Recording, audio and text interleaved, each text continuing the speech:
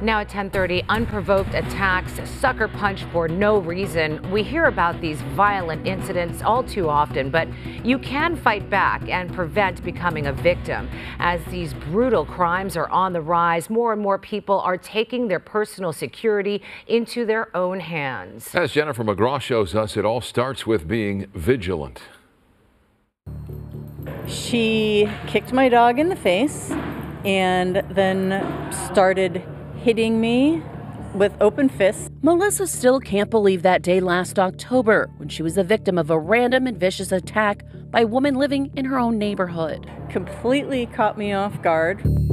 Something we've seen time and again nearly every day from a woman shoved into a door, then struggling with a thief to hang onto her purse, to a woman walking casually down the street in Long Beach in broad daylight, a man with his pants down attacks her from behind, to the recent and savage attacks by the Venice canals. I have to be concerned about my own safety and my dog's safety. So if I even come at you, hit me. Dave Kerr teaches self defense classes at his gym, Fit Sport Kinetics in Pasadena. If you're walking in front of your house or if you're in some dark alley, you always assume that there's danger around. Weapon here, just like that. A real simple slap to the side of the head will discombobulate. We use a natural weapon like a hammer hand, like you would knock on a heavy door a knee or a kick to the uh, kick to the knee. Okay, ready?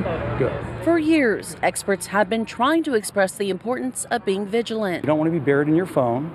If you have earbuds in, you can't hear anything. So one of the things we teach here is the simple practice of being aware of your surroundings. But it's not just up to your spidey senses.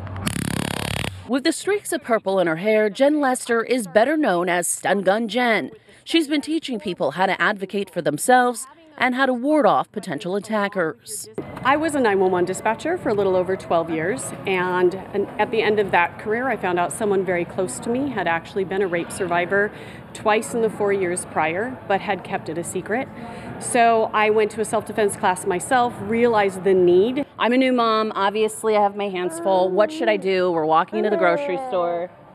It's still easy for you to stay equipped. You can have something on a belt buckle away from your child with that quick release for a purse. You can also have it in your pocket. What I love is that Damsel also has these wristlets that can literally carry it all. Jen says you are your own best defense in these crazy times. It's incredibly alarming. We're seeing it on the headlines constantly. She says the key is to try never come in contact with a predator, but just in case, four things to carry. I have my alarm with the GPS tracking. I have a stun device, I have a striking tool for close contact strikes, and I have my pepper spray. But also says one of the best tools is your voice. So if he's coming at me and I do a back off, there's a bigger chance he's gonna back off. Using these techniques may in fact help you too not become a statistic. If we are the consequence, because we can't get the consequences through our justice system or whatever, but we have to start to learn to be the consequence ourselves. Jennifer McGraw, KTLA 5 News.